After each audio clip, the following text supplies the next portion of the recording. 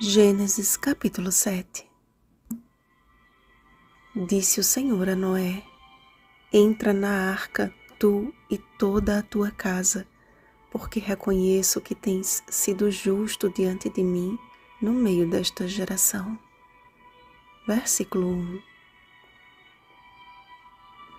Vimos que o nome Noé significa descanso, repouso.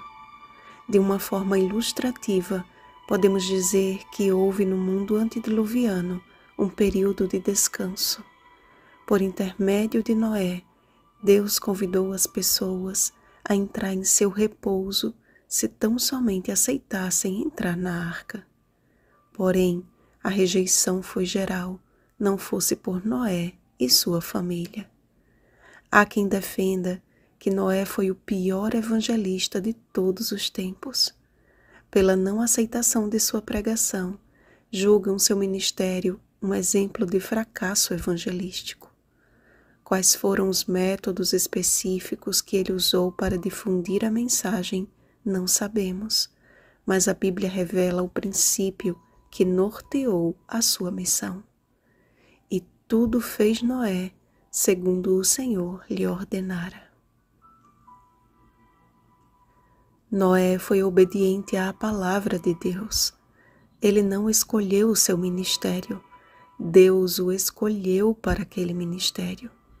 Ele não agiu de acordo com o que achava ser o melhor, depondo diante do altar de Deus a oferta de Caim, mas agiu em plena harmonia com assim diz o Senhor, depondo diante do altar de Deus a agradável oferta de Abel independente da deplorável situação da humanidade, opiniões contrárias, perseguições e zombarias, e do fato de que até então nunca havia chovido sobre a terra, ele seguiu a passos firmes na obra que lhe foi confiada. Sobre sua trajetória, escreveu Ellen White. Enquanto Noé estava a pregoar sua mensagem de advertência ao mundo, suas obras testificavam de sua sinceridade. Assim foi que sua fé se aperfeiçoou e se evidenciou. Ele deu ao mundo o exemplo de crer precisamente o que Deus diz. Tudo quanto possuía empregou na arca. Ao começar a construir aquele imenso barco em terra seca, vinham de todos os lados multidões para verem a estranha cena e ouvir as palavras sinceras, fervorosas do pregador original. Cada pancada desferida na arca era um testemunho para o povo. Patriarcas e Profetas, páginas 56 e 57. A mensagem dada a Noé não foi de todo rejeitada a princípio. A gigantesca construção chamou a atenção de todos e atraía tanto ouvintes quanto críticos.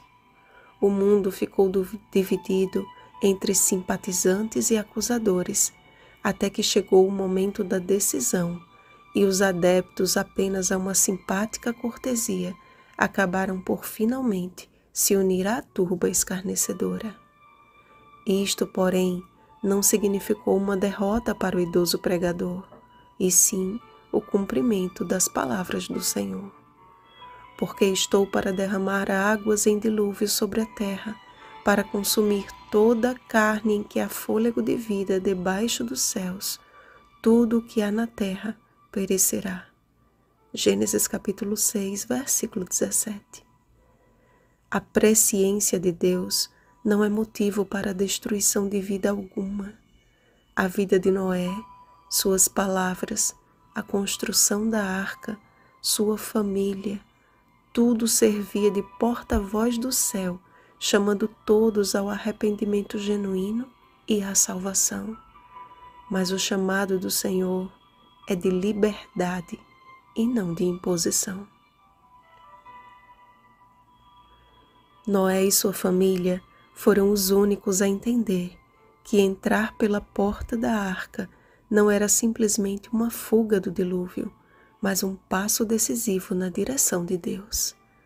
Noé creu na promessa e seguiu pela fé. Pela fé, Noé, divinamente avisado das coisas que ainda se não viam, temeu e, para a salvação de sua família, preparou a arca, pela qual condenou o mundo e foi feito herdeiro da justiça, que é segundo a fé. Hebreus capítulo 11, versículo 7.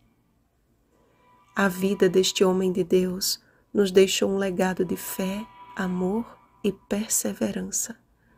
Diante de um desafio incomum e humanamente impossível, decidiu confiar no Senhor e assim reger o seu lar no temor de Deus.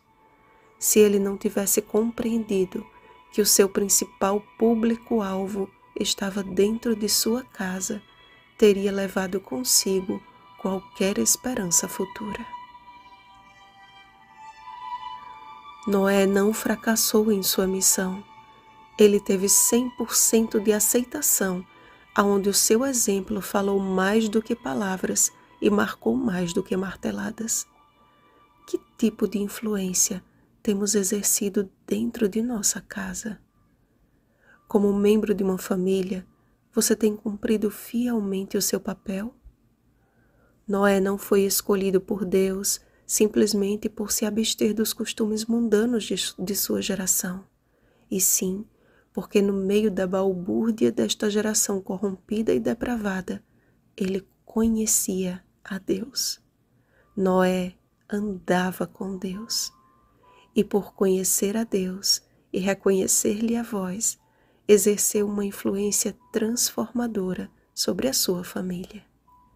A abstinência das coisas deste mundo não foi a causa da salvação de sua casa, mas o resultado da salvação.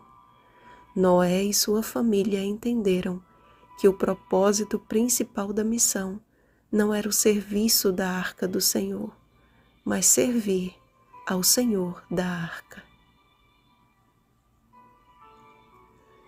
Ao aproximar-se o tempo em que o Senhor fechará a porta da graça, que sejamos encontrados na segurança de Sua vontade. Vigiemos e oremos.